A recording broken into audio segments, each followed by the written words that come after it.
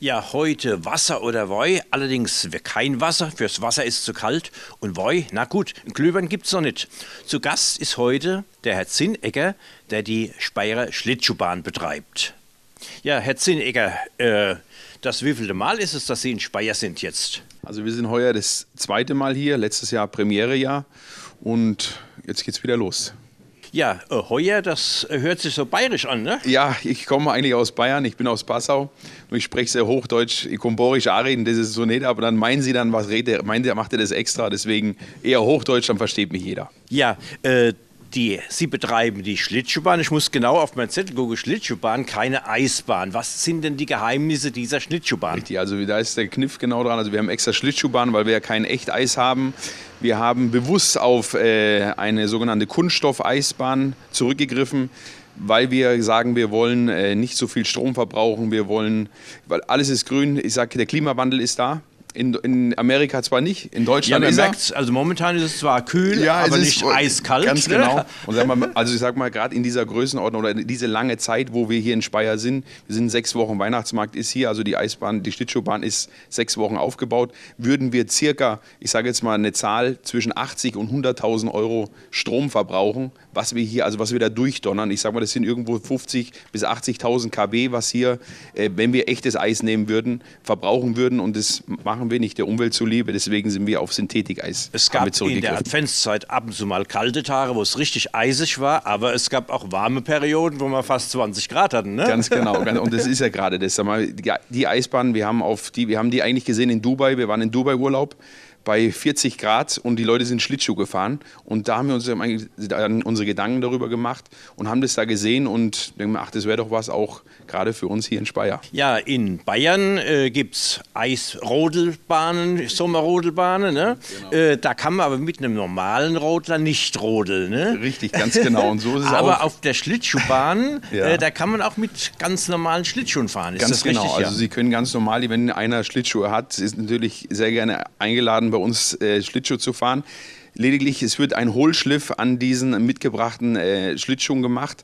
Ich sag mal, ein Laie oder ein Amateur merkt es nicht, ein Profi ja, gerade der, wo halt richtig äh, Speed fährt, also da, wo es wirklich um Zeit geht, aber ein normaler Amateur oder ein äh, Laie merkt es nicht. Wir machen das kostenlos, wir haben die Schleifmaschine da, es wird einmal nur dieser Hohlschliff gemacht, also Sie merken nichts, wenn Sie dann trotzdem weiterhin auf Eis Auf der anderen Seite kann man natürlich bei Ihnen auch Schlittschuhe ausleihen. Ne? Richtig, genau, absolut. Die schon also wir, geschliffen ganz genau. Wir haben 300 Paar Schlittschuhe, also von ganz klein bis ganz groß, also auch Übergrößen oder ganz kleine und jeder kann fahren. Ja, also wer noch nicht auf dem Eis war, kann seine keine Kuh aufs Eis stellen. Ne? Ganz genau so ist es. Ganz genau so ja? ist es. Ne? Oder auf die Kunststoffbahn. Äh, Ganz genau. Äh, was für ein Kunststoff ist es denn, wenn ich fragen darf? Also es ist äh, Synthetik-Eis. Man kann es vergleichen mit einer Art Teflonplatte, die wo extra beschichtet wurde und so und so oft Lagen drauf gekommen ist, dass es wirklich diese Gleiteigenschaften hat wie fast Eis. Ja, ich habe beim Aufbauen gesehen, da ist jemand mit einem Polierer sozusagen drüber gefahren. Ne? Ganz genau, äh, ganz genau. Ja. Also der ist jetzt noch fleißig dran, also dass sie wirklich richtig schön wieder äh, poliert ist. Die war jetzt das ganze Jahr eingelagert. Wir stellen die wirklich nur in Speyer auf und dass halt alles wieder richtig funktioniert, dass die Speyerer wieder schön Spaß haben können. Ja, Sie sind Schausteller und haben gesagt, dass Sie in ganz Deutschland rumkommen. Wo waren Sie denn schon überall gewesen? Also ich war wirklich schon von A bis Z. Also wir fahren wirklich von Garmisch-Partenkirchen bis hoch nach Flensburg von auch international. Wir sind in der Schweiz dieses Jahr gewesen, wir sind in Österreich. also wir sind in ganz Europa mit unserem Schaustellergeschäft unterwegs. Wir waren auch schon das ein oder andere Mal in Speyer mit unserem Zirkus. Fredis Zirkus ist es unser Laufgeschäft.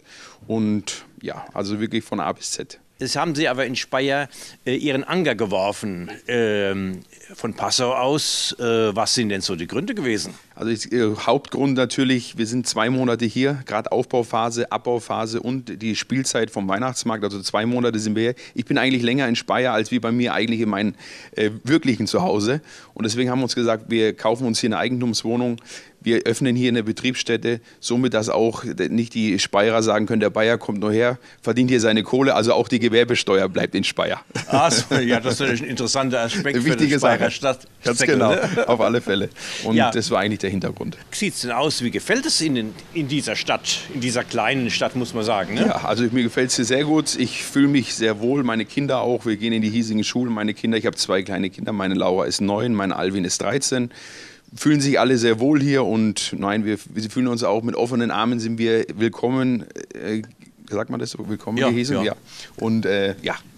Ja, passt. und der Alwin muss also auch mithelfen. Das ist ein richtiger Familienbetrieb. Ja, Ne? also ich bin die 16. Generation Schausteller, meine Kinder die 17. Generation. Wir sind immer ein Familienbetrieb und anders würde es auch nicht funktionieren. Also Sie sehen es, mein Sohn ist tatkräftig, meine Tochter tatkräftig mit dabei und sind auch immer hier, auch während dem Betrieb. Also immer wieder sind sie dabei und wollen halt mithelfen und machen und tun, was auch wichtig ist. Ja, ich habe schon gesehen, hier für die Imbissstube, da ist schon alles gerichtet, die Gläser stehen schon parat, ne? kann sozusagen losgehen. Einen Glühwein kriege ich noch nicht, der ist noch in den... Am Montag erst, genau. Ja, wir werden dann wohl auch am Montag da sein, die Eröffnung, Film des Weihnachtsmarktes dann im Ganzen gesehen. Ne? Äh, jetzt, ähm, was ist denn noch zu machen bis zum Montag? Heute Also- haben wir Donnerstag. Ne? Ja, es sind noch ein paar Kleinigkeiten noch zu tun. Da müssen noch die Zapfgeräte angestellt werden, die Ware kommt also und und und. Also wir haben noch ein paar Kleinigkeiten. Man meint, es ist zwar fertig, aber es sind noch ein paar äh, tun, Dekorationsteile ja. und und und. Also als ich gefragt habe für das Interview, dann hieß es, ja, der Herr Zinnecker ist unterwegs, Ganz ne? genau, er muss noch, genau. Es sind er, ist, immer wieder- er ist im Stress. Richtig, Ne? also ich weiß es bis jetzt, ich weiß es jetzt schon bis zum Montag ist, dann haben wir alles, aber es, dauert bis zum Montag, bis alles fertig ist. Ja, okay, dann möchte ich Sie nicht weiter bei der Arbeit aufhalten und mich für das Interview bedanken. Ich sag danke. Fast fertig ist der Aufbau der Schlittschuhbahn am Altpörtel.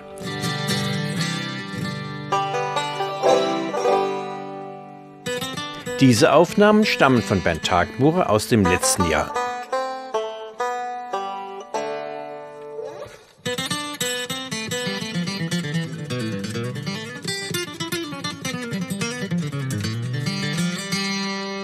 Glattes Eis, ein Paradies für den, der gut ta zu tanzen weiß.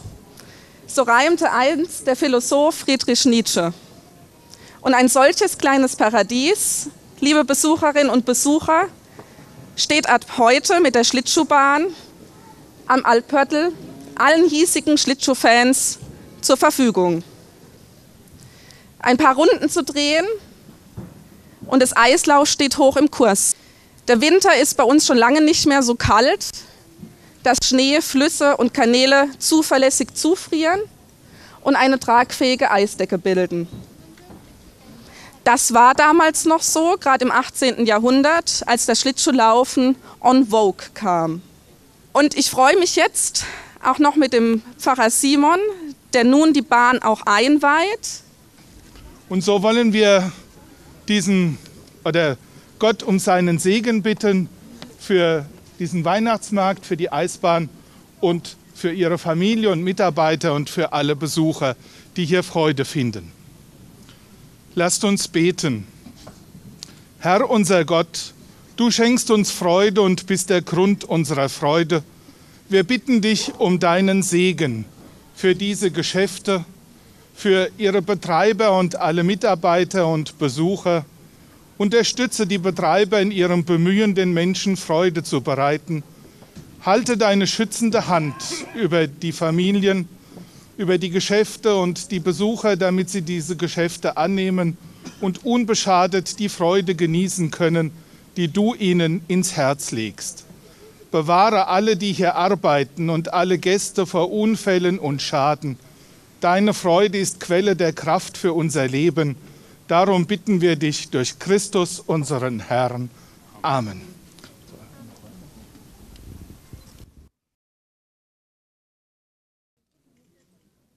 Also wir werden äh, nun unsere Schlittschuhbahn traditionell eröffnen mit einem Scheren. Genau,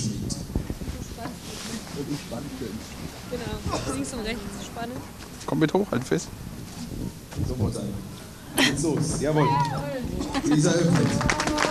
Albert 2018. Dankeschön. Und wir drehen jetzt noch um. Jubel. Ja.